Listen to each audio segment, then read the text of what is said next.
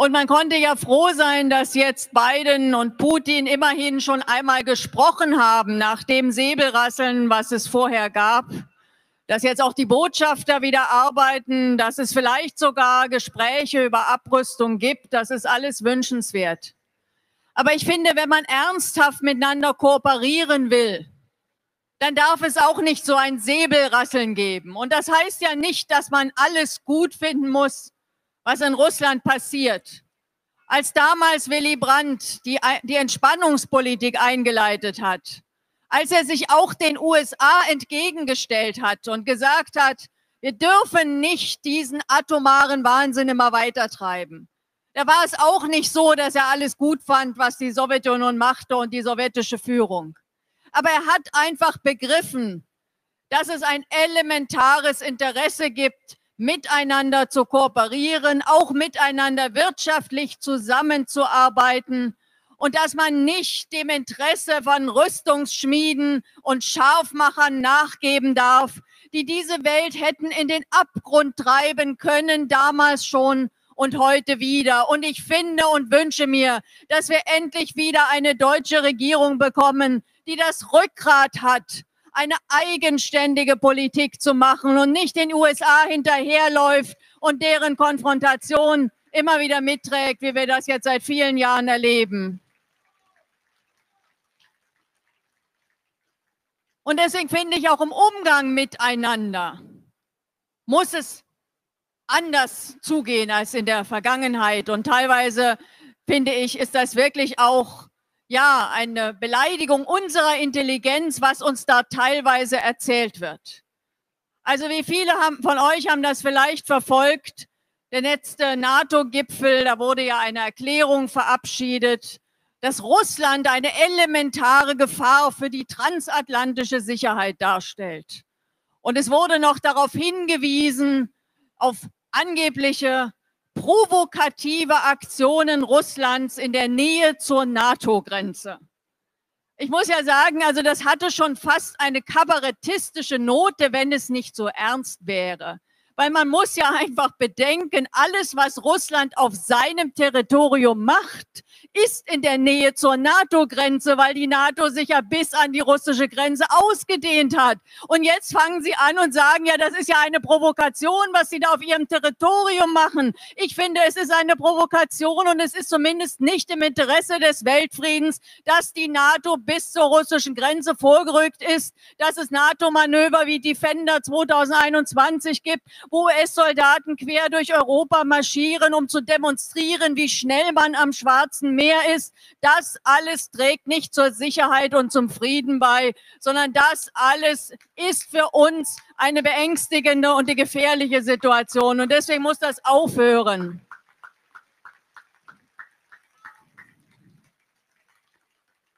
Und auch noch mal zu der Frage, eine Bedrohung, eine Gefahr für die transatlantische Sicherheit. Da habe ich mir mal die Rüstungsausgaben angeguckt, die man aktuell ja nachlesen kann. Die werden ja auch veröffentlicht. Und wenn man sich anguckt, wer, wer gibt wie viel für Rüstung aus in dieser Welt, da sieht man, die Vereinigten Staaten haben jetzt in diesem Jahr, mitten auch in der Corona-Krise, trotz aller sonstigen Herausforderungen, 780 Milliarden Dollar in ihre Rüstung investiert oder man muss ja eher sagen, für Rüstung und für ihre Rüstungsschmieden verschleudert. 780 Milliarden Dollar, das kann man sich überhaupt nicht vorstellen, was das für ein riesiges Geld, für ein riesiger Geldbetrag ist. Die europäischen NATO-Staaten, allen voran übrigens Deutschland, haben auch ihre Rüstungsausgaben in den letzten Jahren hochgefahren. Auch nochmal jetzt trotz Corona und trotzdem man so tut, als hätte man für alles Mögliche kein Geld. In Europa werden rund 300 Milliarden für Rüstung ausgegeben. Das heißt, wenn wir uns das zusammen addieren, dann haben wir auf der einen Seite ein transatlantisches Bündnis, die NATO. Das gibt über 1000 Milliarden Dollar für Rüstung aus. Und auf der anderen Seite haben wir Russland, die große Gefahr für unser aller Sicherheit. Und da habe ich mir mal angeguckt, was gibt Russland für die Rüstung aus. Das sind aktuell 61 Milliarden Dollar. Das heißt, das Land, das 61 Milliarden Dollar in die Rüstung, für Rüstung verpulvert, das gefährdet ein Bündnis, das über 1000 Milliarden ausgibt, jedes Jahr für neue Rüstung, für neue Raketen, für Modernisierung von Atomwaffen, für alles Mögliche, was die Menschheit nicht braucht. Ja, das kann uns doch keiner im Ernst erzählen. Das ist doch lächerlich, liebe Leute. Natürlich ist das keine Gefahr für unsere Sicherheit. Die Rüstungsspirale ist eine Gefahr für unsere Sicherheit. Und deswegen müssen wir sie schleunigst beenden. Wir brauchen Abrüstung. Und wir brauchen auch in Deutschland keine atomaren Waffen. Noch nie hat das zu unserer Sicherheit beigetragen. Und was ich wirklich erschreckend finde, wie gesagt, heute ist der 80. Jahrestag. Und morgen im Haushaltsausschuss des Bundestages, einen Tag danach, werden sage und schreibe 27 zusätzliche Rüstungsprojekte auf der Tagesordnung stehen, im Volumen von insgesamt 18 Milliarden Euro. 18 Milliarden Euro morgen im Haushaltsausschuss. Und die sind dafür da, weitere Aufrüstung, teils, teilweise solche Projekte, die noch gar nicht finanziert waren, jetzt kurz vor der Sommerpause noch durchzudrücken. Und da muss man auch sagen, eine Regierung, die jetzt in dieser schwierigen wirtschaftlichen Situation, in dieser Situation unserer Staatsfinanzen nichts Besseres zu tun hat, als nochmal 18 Milliarden zusätzlich für Rüstung zu verpulvern, für neue Panzer, für neue Kampfjets, für neue Raketen und für, vieles andere mehr. Eine solche Regierung hat doch einfach den Verstand verloren. Diese 18 Milliarden brauchen wir, um die Schäden der Corona-Krise auszugleichen, um die Menschen zu unterstützen, die jetzt existenziell etwas verloren haben und nicht für Rüstung. Und eines dieser neuen Rüstungsprojekte, das da jetzt beschlossen werden soll oder das da jetzt morgen auf der Tagesordnung steht, ja auch wahrscheinlich durchgewunken wird von, der Koalition, ist ein sogenanntes neues Luftkampfsystem. Und dieses Luftkampfsystem, das ist wirklich gefährlich, weil das ist nicht einfach nur ein neuer Jet, der irgendwie Bomben transportieren kann. Das ist schlimm genug, wenn es Atombomben sind. Sondern dass dieses Projekt das ein Volumen hat. Jetzt erstmal sollen da 4,5 Milliarden freigegeben werden, aber in der Summe, wenn es ganz realisiert wird, über 100 Milliarden, alleine von Deutschland. Und dieses Projekt würde wirklich eine neue Stufe der Digitalisierung von Kriegen einleiten. Das heißt, dieses Projekt läuft darauf hinaus, dass in Zukunft nicht mehr Menschen, sondern Computer über Leben und Tod und damit eben auch über den Einsatz von Waffen entscheiden. Und ich muss sagen, da wird mir wirklich Angst und Bange, weil ich kann mich noch gut erinnern. Und ich glaube, viele von euch wissen das, dass im Kalten Krieg mehrfach Situationen es gab, wo es hätte einen heißen Krieg geben können, wenn Menschen nicht sehr verantwortungsbewusst gehandelt hätten. Eine solche Situation war zum Beispiel 1983. Da hat die sowjetische Flugabwehr, also die, die, also die Computer, die das äh, registrieren, gemeldet, es würden fünf amerikanische Interkontinentalraketen im Anflug sein. Und der zuständige Offizier stand in der Situation, ob er diese Meldung ernst nimmt und auf den Knopf drückt und den vermeintlichen Gegenschlag auslöst, der aber kein Gegenschlag gewesen wäre, weil es war eine Fehlmeldung oder ob er davon ausgeht, dass es eine Fehlmeldung ist und nicht drückt. Und dieser Offizier damals hat nicht auf den Knopf gedrückt, sonst wären wir wahrscheinlich hier alle nicht mehr auf dem Platz. Und das zeigt einfach die Dimension und die Gefahr, die hinter der Digitalisierung von Rüstung und Kriegen steckt.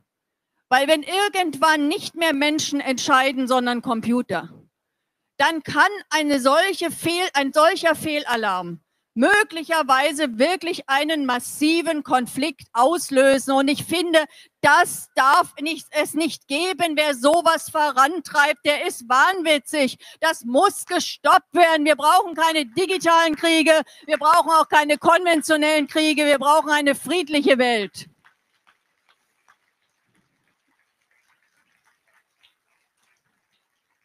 Und ich meine, das Schlimme ist ja wirklich, wie viele Parteien inzwischen alle zu den Rüstungsbefürwortern gehören.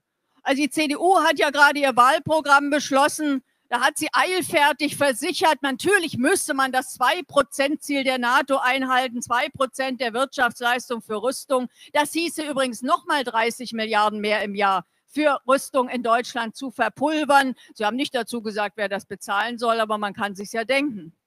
Aber nicht nur die Union ist ja da völlig auf einem irren Pfad. Weil wenn ich mir so angucke, wo die Grünen sich hin entwickelt haben, eine Partei, die immerhin mal aus der Friedensbewegung gekommen ist. Und heute erzählt uns Frau Baerbock, dass wir mehr robuste Militäreinsätze brauchen. Und die Grünen finden es jetzt auch toll, dass man mit Drohnen in aller Welt morden kann. Man trifft halt immer mal die Falschen, aber Pech gehabt ist ja nur weit weg in Afghanistan oder in Pakistan. Mein Gott, was aus dieser Partei geworden ist. Auch die Grünen sind inzwischen leider eine Aufrüstungspartei. Sie sind leider inzwischen auch eine Partei, Partei, die Kriege befürwortet. Und deswegen sind sie für Menschen, die Frieden wollen, nicht mehr wählbar. Das muss man ganz klar immer wieder sagen.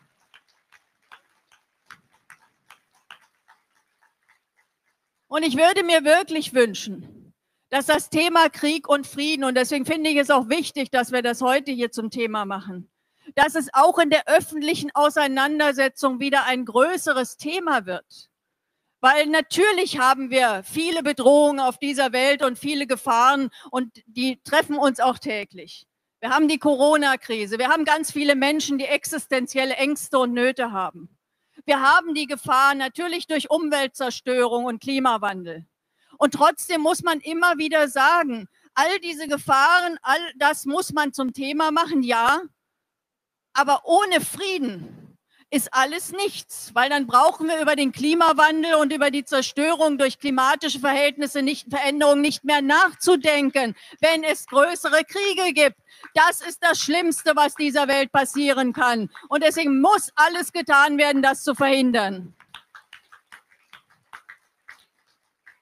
Und deswegen, das ist mein letzter Punkt. Ich bin jetzt heute auch wirklich deshalb so gern nach Leipzig gekommen, weil hier ja auch der Wahlbezirk ist von Sören Pellmann, mit dem ich jetzt seit vier Jahren in der Bundestagsfraktion sehr gern und äh, sehr gut zusammenarbeite. Und ich finde es unheimlich wichtig, dass solche Leute wie auch Sören, dass die im Bundestag weiterhin eine starke Stimme haben und wenn Sie das, Sie können das natürlich auch mit der Zweitstimme über die Linke, aber ich finde, es wäre auch richtig gut, wenn die Linke das Direktmandat hier in Leipzig wieder gewinnen würde, weil wir das eben tatsächlich auch anders ausfüllen als die anderen Parteien. Und ich habe ja vorhin vorhin darüber geredet, dass viele Politiker nur noch in ihrer Blase leben und einfach den Bezug zum realen Leben nicht mehr haben. Und bei Sören ist das eben anders. Sören kümmert sich um das, was hier in Leipzig passiert. Und er kümmert sich um soziale Fragen und um Gerechtigkeit. Und ich finde, das ist wirklich eine große Frage unserer Zeit, dass solche Politiker und solche Richtung in der Politik gestärkt wird. Weil ich wünsche mir ein Land, das wieder mehr zusammenfindet, das nicht so gespalten ist. Ich wünsche mir ein Land, wo es wieder mehr sozialen Ausgleich gibt und auch mehr sozialen Zusammenhalt und nicht diese Arroganz von oben nach unten und dieses Herabsehen auf die normalen Leute, die es in, schon in den letzten Jahren immer schwerer hatten. Und deswegen werbe ich dafür, das möchte ich schon an dieser Stelle auch sagen, dass wir wirklich auch bei der Bundestagswahl darüber nachdenken, wer kann kann dieses Land in Richtung sozialer Gerechtigkeit voranbringen, weil wir brauchen nicht immer mehr Politiker, die von Lobbyisten geschmiert werden. Wir brauchen nicht Politiker, die sich noch in der Krise die Taschen füllen und da Korruptis machen, wenn andere die Masken dringend brauchen, sondern wir brauchen Leute, die ehrlich ein soziales Anliegen haben. Und deswegen werbe ich auch hier mit diesem Auftritt dafür. Vielen Dank, liebe Freundinnen und Freunde. Und ja, bis auf bald.